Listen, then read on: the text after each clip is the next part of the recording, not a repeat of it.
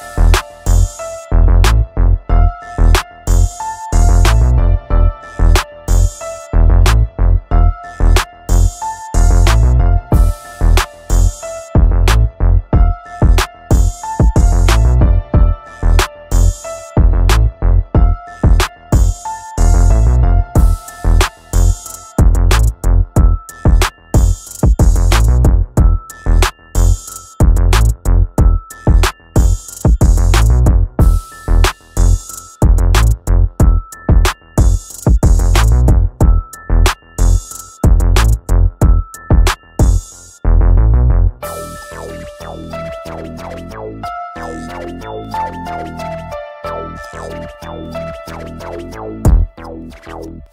you.